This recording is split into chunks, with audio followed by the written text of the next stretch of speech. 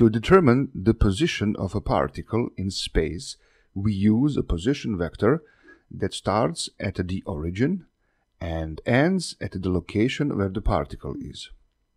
Using the position vector, we can uniquely determine the position of an object in space. Also, the motion of a particle can be described by using the position vector precisely when the particle is changing position in time, the position vector also changes, and that leads to the formation of the displacement vector which is equal to the final position minus initial position as a vector. Let's look at what happens when we have motion in two dimensions. That is, when we have motion in plane. Later on, we will easily go to three dimensions.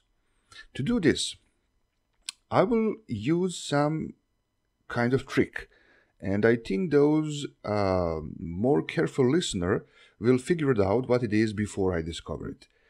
Let's work in two dimensions for now. Uh, the difference between the two positions of the particle can be defined by the difference between the two position vectors. Thus, if we have the particle at one moment being in the position r1, call this position initial, at another moment in position r2, call this position final position, then we can talk about displacement in the plane. Delta r is equal r2 minus r1, as it is shown right here. Remember, displacement is always equal to the final position minus initial position. Okay, now let's look at this motion in two dimensions. Let the red particle move along the path indicated by the red line. Observe this motion of this particle between two moments. We have the initial and the final position of the particle. Of course, then we have a displacement in plane. How can we describe this kind of motion? I al already mentioned such a motion in one of the previous videos, but anyway, two-dimensional motion can be described by two one-dimensional motions. Let's repeat how. Well, each point in two dimensions is uniquely defined by the two coordinates we can label them as we want, but it is common to use x and y. I deliberately omit these labels from the graphics because I think it's important that your imagination is constantly working in the learning process. So let's put it this way. The position of the red particle is determined by two coordinates and as particle moves, its coordinates also change. Now let's imagine a virtual particle that moves along an axis just like the coordinates are changing. For example, let's take virtual particle to be a green one. Obviously, it is a motion on a straight line.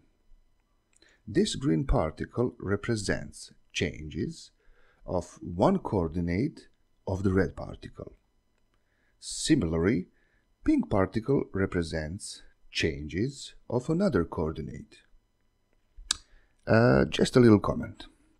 The displacement of the red particle can uh, therefore be determined by using the displacement of the pink particle and the displacement of the green particle.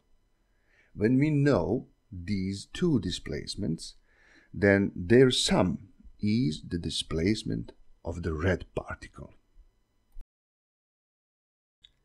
Does anyone already understand the trick I mentioned? Uh, still, let's look at some other characteristic two-dimensional motions and finds if they can be described by two one-dimensional motions. For example, this one, a little more complicated than the previous one, can of course be described by two one-dimensional motions.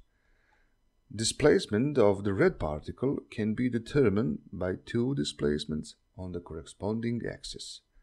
Again, displacement of the red particle is the sum of two displacements at the axis. Uh, what about trick now? Do you get it?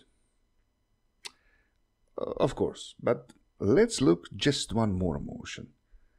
This one looks like a ballistic shot. Again, the motion of the red particle can be described by two one-dimensional motions.